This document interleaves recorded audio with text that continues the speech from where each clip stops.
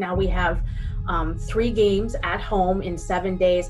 How do you look for that to maybe kind of help get back into that sync and flow?